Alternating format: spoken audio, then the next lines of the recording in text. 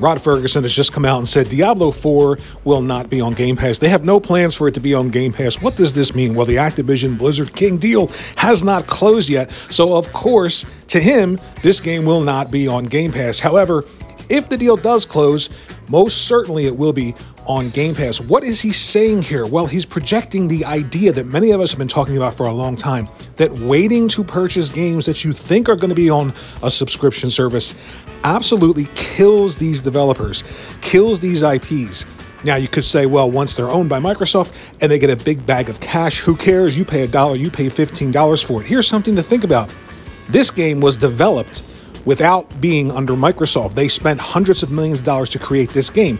What will their next game be under Microsoft in a subscription service that does not have the amount of subscribers to offset the cost? Because when you add in other cost beyond just buying third party deals for the service versus how much money you're making, of course you can say we're making money. But when you add in all of the other costs, the $69 billion about to be spent, the money already spent for Bethesda, when you add all of that into it, Game Pass is not profitable, period. So what do we do? Well, we're not going to spend $200 million, $300 million on the next Diablo. We're going to have to cut things back and scale things back. Scope, vision, creativity all will suffer. And he's projecting that here by saying, we have no plans to be in Game Pass. So please, Xbox community, buy our game.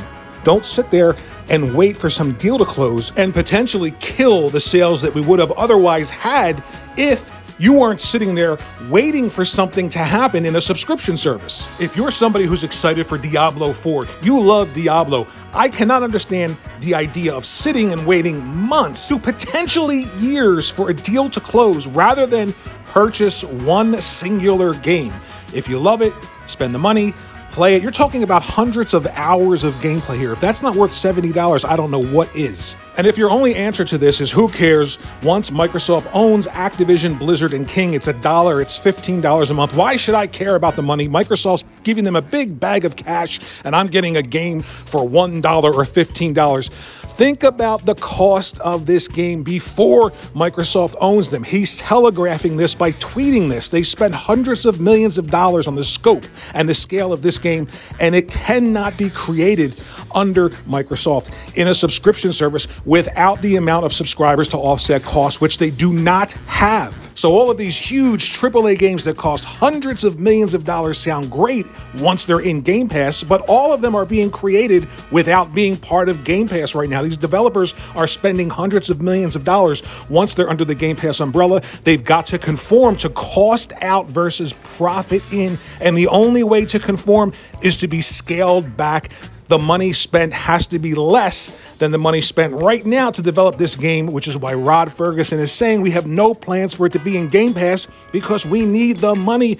We need the purchase at full price, the $70 price point for the huge AAA game. So the caring about this stuff comes in when you think about the fact that you want these big, huge AAA games to continue. You want them not to be hampered by cost. You want them to take that risk. You want them to push those boundaries and then put the game out there. And if it is a fantastic AAA RPG, hundreds and hundreds of hours of gameplay, why not give them the return on that risk? The $70 price point for these games is a must for them to continue to be the huge, epic in scale and scope type of games that people want. Sure, double A, sure, single A will be easier to conform to a subscription service, but the idea that these games can exist under a subscription service is just not going to work.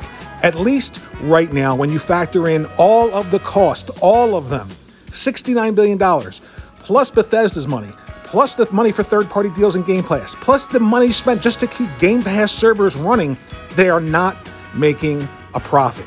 Period. Things will have to be scaled back. The creative process should never be scaled back. The scope shouldn't be scaled back. And the money invested for risk and return shouldn't be scaled back.